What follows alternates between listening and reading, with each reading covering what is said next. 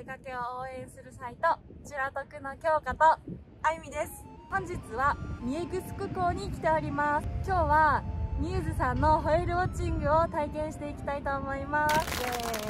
こちらのホエールウォッチングは、まあ、ガイドが自慢ということで、クジラマスターでうんちく王の方の解説があるということなので、すごい楽しみです。ここ集合場所が三重グスク港なんですけど Google マップに入れて目的地に向かうと橋の上で到着と出てしまうので向かう際はぜひ注意して向かっていただければと思います。それでは行きますか。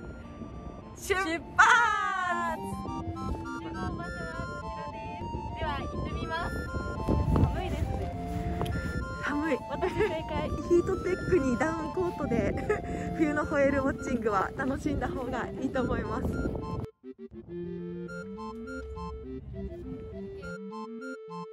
船に向かってます。今日乗る船はあちらです。じゃじゃん。すごい。一人一席。ありますね。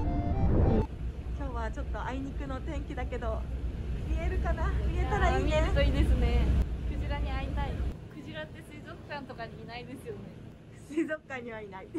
なかなか見えることができない。じゃあ見たことないかもしれない。ではですね。どうしも船ですので船用意心配な方も中にはいらっしゃると思いますので船用意しないこと先に4点ほどご紹介させていただきます。ここから何時までだっけ？12時ぐらいらしいです。今は何時ですか？9時ぐらい。3時間ぐらい出ます。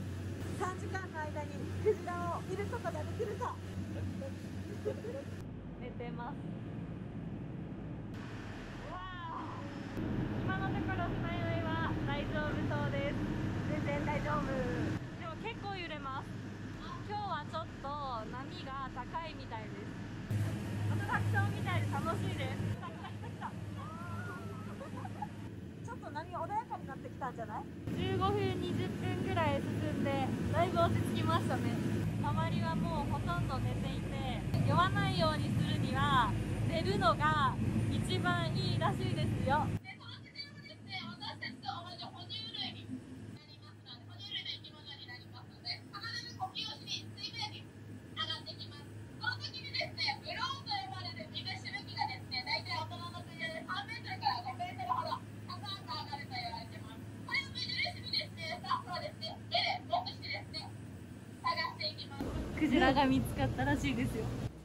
4分です。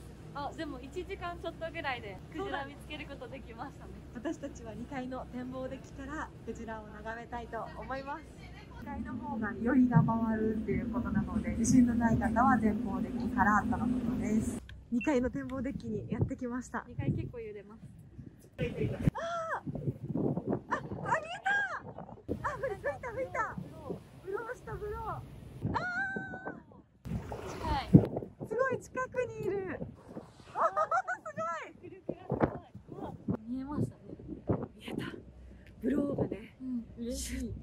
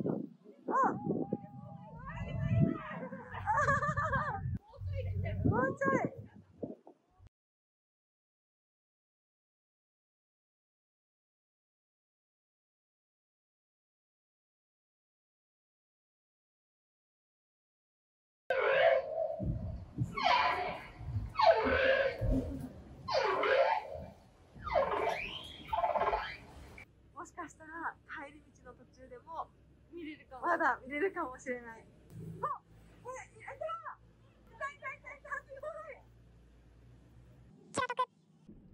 はい、体験を終えて港に戻ってきました。このホエールウォッチングなんですけど、沖縄では一番人気の冬のアクティビティになっていて、4月上旬まで体験することができます今回私たちも実際に体験させていただいて親子のクジラを見ることができてとても感動しましたね、本当良かったです。親子クジラがこう水シューってよくクジラの特徴になるブローっていうのをよくしていて、結構ね、船の間近で見ることができて、めちゃくちゃ可愛かったです可愛。かったで、あとあの、オープニングで Google マップでミエグスク港って登録すると橋の上になりますよってお話ししたんですけども、那覇ビーチサイドホテルっていうのを Google マップに登録していただいて、で、到着したらそのまま道なりに進んでいただくと、ミエグスク港、こちらに到着しますので、ぜひ利用される際はご注意して到着していただければと思います。こちら特ではこの人気のホエールウォッチングのプランが沖縄県民価格で予約することができます。詳しくは概要欄にリンクを貼っておきますのでチェックしてみてください。それではまたね